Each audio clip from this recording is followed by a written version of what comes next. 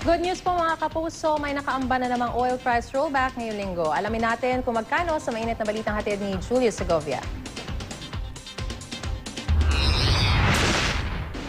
Hindi malayong may bawas presyo ulit sa mga produktong petrolyo ngayong linggo. Sa kwenta ng Oil Industry Sources, 80 hanggang 90 sentimos kada litro ang posibleng rollback sa gasolina at kerosene. Baka abuti naman daw ng piso ang tapyas presyo sa diesel. Ang namumurong rollback, kasunod lang na higit 80 centavos ding bawas presyo nitong lunes. Pero napapakamot pa rin sa ulo ang mga jeepney driver. Kulang pa yan.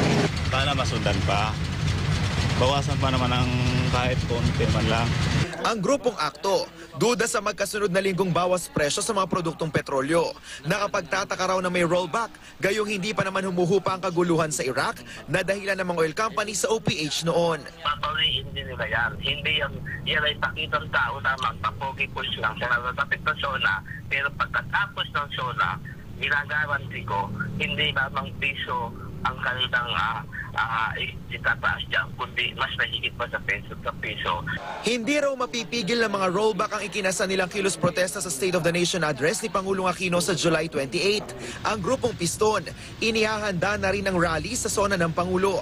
Tuloy pa rin ang panawagan nilang bigyan ng 6 na pisong diskwento sa petrolyo ang mga pampublikong sasakyan. Walang walang makakapigil sa darating na na kinis protesta namin sa darating na zona. Dahil sa wala namang pagbabago o pagbundat ng hanay ng transportasyon.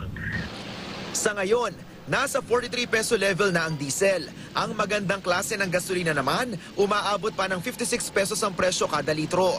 Kaya ang mga motorista, dumidiskarte para makatipid. Pabira lang ang bumiyahe. Para?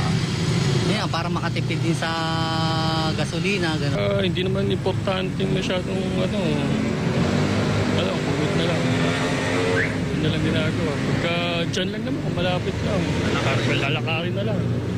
Nauna nang nilinaw ng Department of Energy na walang kinalaman sa zona ng Pangulo ang rollback. Napapawi lang daw ang agam-agam ng mga oil trader na madiskarilang supply ng langis. Kasunod ng gulo sa Iraq kaya nagmumura ang presyo ng krudo sa merkado.